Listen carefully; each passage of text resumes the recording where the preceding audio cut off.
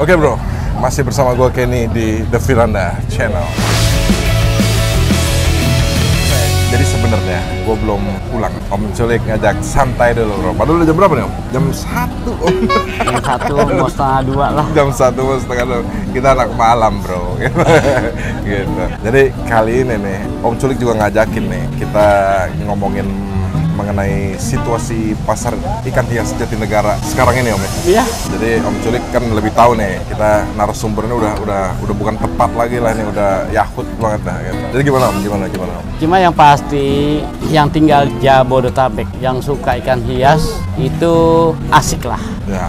Mereka punya banyak tempat, banyak spot untuk mencari hunting ikan-ikan hias. Hmm. Ya kan? Khususnya yang ada di Jatinegara. Ya. Karena pasar tradisional tidak beratap, penjualnya menggunakan plastik semua. Itu kan ya- Seni tersendiri. ada seni tersendiri dan mereka kosnya kan murah. Hmm. Jadi itu mempengaruhi ke harga ke harga. dan hanya ada di Jatinegara di seluruh Indonesia nggak ada tempat seperti ini. Mungkin ada, cuma skupnya kecil. Ya. Tidak sebesar ini kebayang bro. Di sini ada, ada 350 lapak termasuk di kios dan setiap malam buka dari jam 10 sampai jam 9 pagi. Nah ini di sini tengah malam orang Jadi kalau datang ke sini jangan jam 8 gitu ya. Jadi kalau datang kemari pagi hari, siang hari, ini kan nyaris 24 jam itu sebetulnya banyak tempat Oh, iya, pilihan. Ada yang di trotoar masih ada kawan-kawan kita di yang sini, kios. di sini pun ada di kios. Mungkin secara harga mereka lebih mahal sedikit Hmm. Dibanding dibanding yang jam 10 jam 10. Wah. Apa? Uh, jam 10 malam ini. Oke. Iya. Dan untuk jenis-jenis ikannya jangan salah, Bro. Tempat ini mungkin terlihat seperti pedagang kaki lima pada umumnya, terlihat agak-agak rapi, kumuh, tapi masalah koleksi dagangannya ikannya Iya, boleh tanding. Wih, karena gini, Om Kenny. Jadi eksportir, importir ikan itu mereka punya orang di sini. Iya. Mereka punya. Dan harga patokan ikan di sini ini jadi patokan harga secara nasional loh di ikan Di hias ya, di Jatinegara ya. di negara. Dan mohon maaf, ketika anda tinggal di luar kota, ikan-ikan di sini banyak, harganya lebih tinggi, wajar karena ada ongkos kirim. Ongkos kiri. Mm.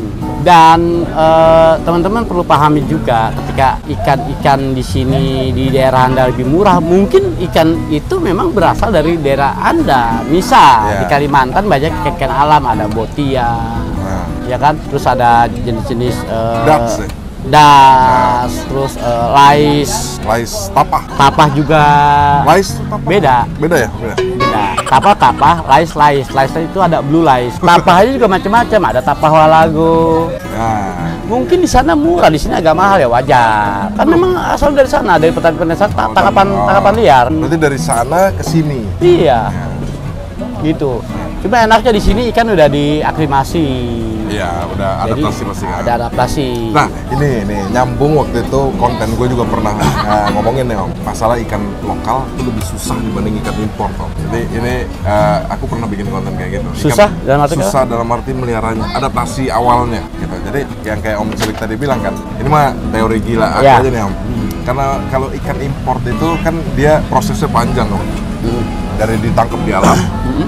terus dia mungkin masuk di karantina di luar negeri, Hmm. begitu shipping dan lain-lain Iya. udah udah tersortir yang mati-mati yang Iya. hidup-hidup. Hmm. Berarti yang sampai sini kan yang tahan banting semua. Betul, Gitu. Akhirnya pas masuk akuarium kita pun dia udah tahan. nahan, Iya. ya kan?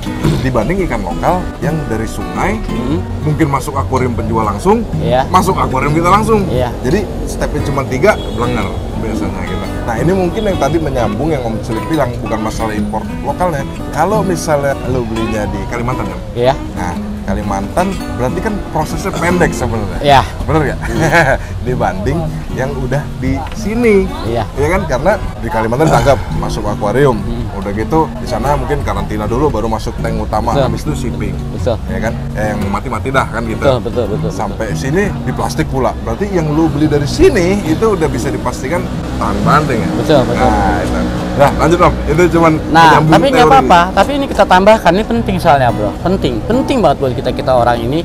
Bang, gue baru beli ikan satu malam doang, besoknya mati. Ini banyak faktor. Yang pertama, ketika Anda newbie banget, justru yang kita koreksi diri Anda. Mungkin airnya kurang matang, kurang lama, kurang tua.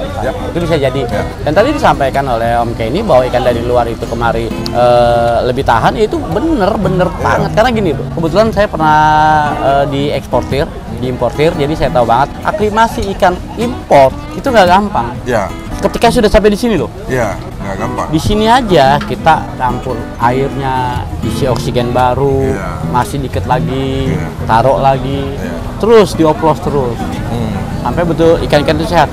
Dan ketika ikan lokal, betul juga apa yang disampaikan oleh Om Kenny, ya jadi ikan eh, belum adaptasi banget, jadi tahannya tahan hidupnya hanya sekedar dia bertahan, Iya. lalu dijual dan matinya ada di kita. Iya. Makanya jangan sungkan, jangan segan tanya sama pedagangnya. Makanya Nah. ada istilah ikan settle. Ikan settle. Ini udah settle belum? Gitu. dan kembali ke pasar sini ya.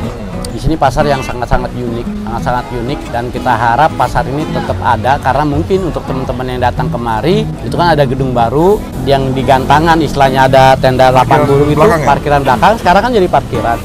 Memang itu karena akibat dari pembangunan mes eh, tentara. Oke. Hmm, jadi mereka kan perlu lahan, ada fasos-fasum lah. Tadinya parkiran full sampai sana ya? Ya karena memang di sana itu belum ada bangunan. Iya, betul. Jadi mau nggak mau kita tergeser dan tidak menutup kemungkinan nanti kita juga akan bergeser tempat semuanya. Ya. Ya karena lahan ini eh, lahan dari Kodim, Korami, lahan negara. Iya. Gitu. Jadi buat teman-teman yang mau cari ikan di sini ada dan untuk yang di luar kota, mohon maaf, Anda wajib menghela nafas lebih dalam Kenapa tuh? ketika tahu harga ikan di sini. Iya, iya. iya. murah gitu kan ya wajar karena sumber ikannya kan ya mungkin kalau kita bicara masalah eh, ikan koi di sini banyak mungkin yang di Blitar Tulungagung Jawa Timur ya pasti lebih murah salah kalau beli di sini Oh gitu ya? salah Salah. Ngapain juga gitu kan? ngapain juga Eh, yang pasti kita minta doa dukungan untuk teman-teman yang penghobi ikan hias jadi semoga pasar ini biarkan tetap ada lah ada. caranya berkunjung kemari belanja jangan nawar bawel bro Nah, iya, iya. Tapi yang utama adalah satu hal ini perlu gue sampaikan bahwa kehadiran channel YouTube The Firanda Channel ini juga luar biasa, di mana Amin. channelnya itu banyak membahas ikan-ikan satu jenis dalam arti kata ya ikan-ikan vampir predator gitu kan, paraya, teman-temannya Golden Dorado, dan di situ teman-teman bisa belajar, jangan sungkan komentar apabila mungkin teman-teman ingin mengkoleksi bagaimana caranya. Ya. Nanti dengan senang hati pasti Om Kenny akan Pasti, menjawab juga. pasti.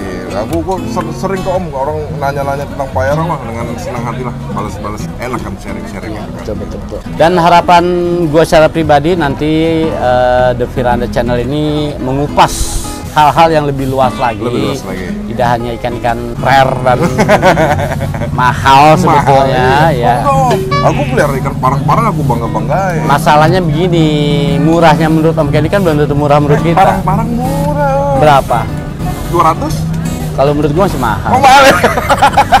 ya, tapi kan parang-parang ikan lokal loh. Iya, tapi tetap mahal lah. Karena pasukan SD nggak bisa di situ. itu udah pasukannya SMA ke atas lah. Ikan parang-parang kan bisa jadi pempek om. Betul. Tapi di akuarium gua nggak bakal jadi pempek. Sebentar, parang-parang itu jenis belida ya? Nggak dong. Kenapa gue beli itu? Karena mirip payara, tapi panjang.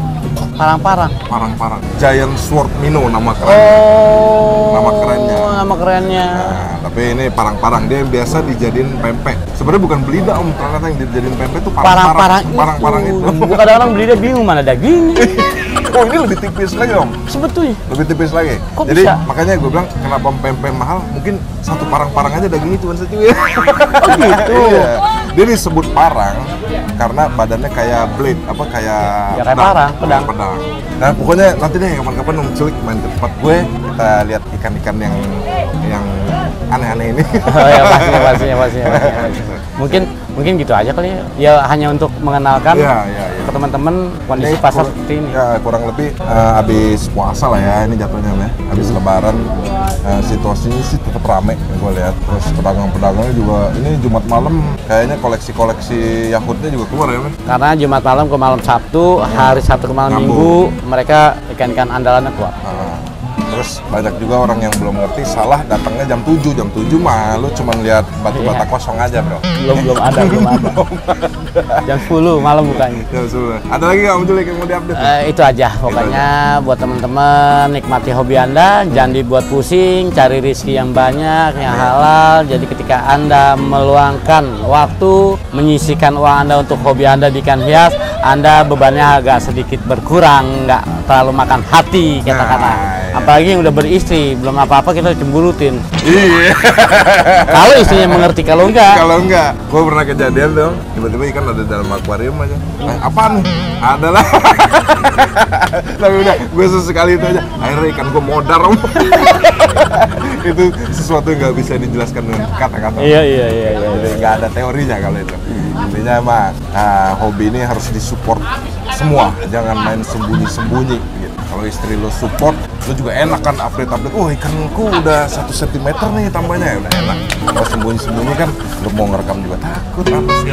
iya. Nah, ini sebenarnya konten yang menyambung tadi gua belanja untuk EXO dan Paradoxus jadi yang belum nonton nah, nanti nonton sebelumnya. Jadi thank you banyak Om Cilik ya. Oke. Ini udah malam banget ya Om Cilik mantep banget nih kita ah, bener-bener anak malam.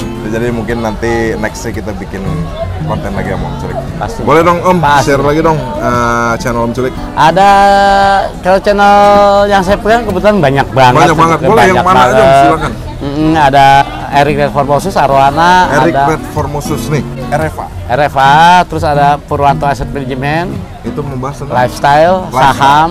Bursa Efek, terus ada Ahmad Jayadi 17. Oke. Itu ke- kemarin banyak idol yang kita bahas. Sebetulnya channelnya untuk dunia motor balap karena Ahmad Jayadi itu adalah pembalap MotoGP Indonesia Ah. yang dulu balap mewakili Indonesia di Sentul tahun 96 97 jadi udah tua. jadi ini tentang biografinya Ya, tentang ya kondisi balap di Indonesia Oh, terbaru, oke, oke. Mandalika MotoGP itu Buset, terus keren banget dah. oh banyak banget deh. Ya, terus Ada culik lagi. Culik lagi. Kalau yang khusus hobi kan eh, nontonnya diculik lagi. Tapi yang paling penting adalah itu channel YouTube The Viranda Channel. itu yang utama. Nah, itu yang utama dan balik lagi gue jelasin menurut Om Culik juga menurut gue juga bahwa kayaknya kita ada rencana nih ngapus channelnya bro gitu. terlalu old school loh Jadi Begitu. hanya The Viranda. hanya The Viranda gitu jadi nanti eh, jangan kaget ya kalau channelnya hilang itu Iya. tetap gua bro ya wes kita tutup aja channelnya jadi jangan lupa tadi terus Om Culik juga punya eh, toko nih boleh dong Om share lagi deh Ada tokonya nanti juga akan kita review ya semoga berkesempatan hadir nanti The Viranda Channel ke toko sederhana ada di daerah Jatiwarna Pondok Tokonya sederhana, koleksinya tidak sederhana, bro. tempatnya kecil. Jadi nanti kita rencana mau main ke sana juga. Nah, di situ banyak Super Red Arwana ya, Mas. Berat pastinya. Super Red Arwana, terus cana-canaan juga ada. Jadi nanti uh, kalian yang mau main, uh, kita cantumin aja, ya. Boleh, boleh, Alamat dan nama tokonya. Oke oke oke. Oke bro, jadi kita tutup aja konten kali ini. Uh, jangan lupa like, share, comment, and subscribe the Firanda channel. Your hobby is your pride.